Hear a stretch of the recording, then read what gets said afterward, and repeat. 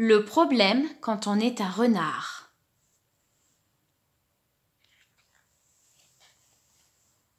Le problème quand on est un renard, c'est qu'il faut tout le temps être très intelligent. C'est vrai, dès que j'arrive quelque part, les lapins, les poules, les pintades, tout le monde est sur ses gardes.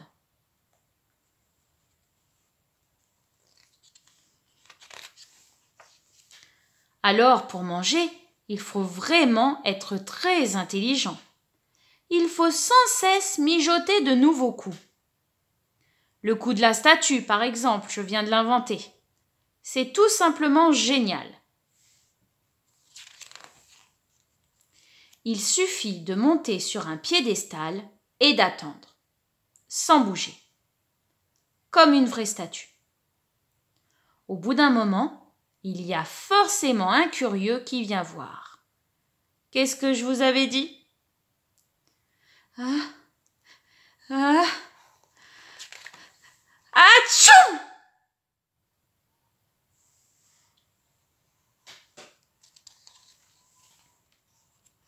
Raté. Le poil de belette, ça me fait éternuer.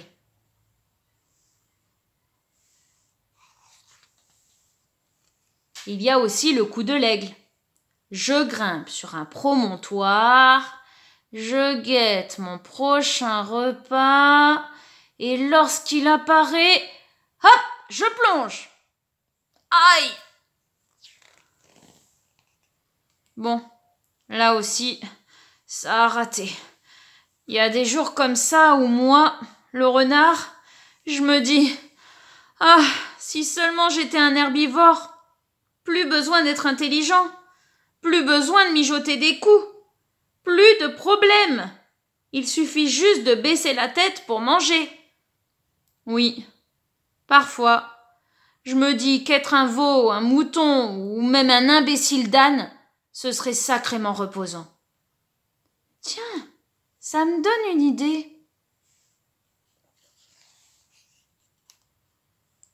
Prenons une feuille de papier fabriquons-nous un bonnet d'âne avec et hop sur la tête. Hi-han C'est rigolo. Hi-han Hi-han Hi-han Oui, c'est drôlement rigolo de faire l'âne, d'être idiot. Hi-han Ça détend le ciboulot. Hi-han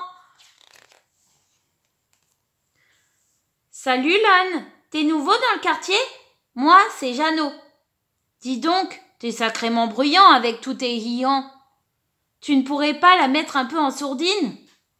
Euh, c'est à moi que tu parles Je ne vois personne d'autre, répond le petit malin. Alors je te l'attrape par les oreilles et je te l'avale aussi sec. Et Soro, monsieur le lapin? Ça va? Il n'était pas trop bruyant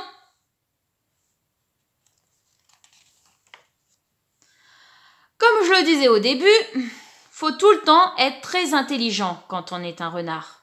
Mais bon, c'est pas vraiment un problème.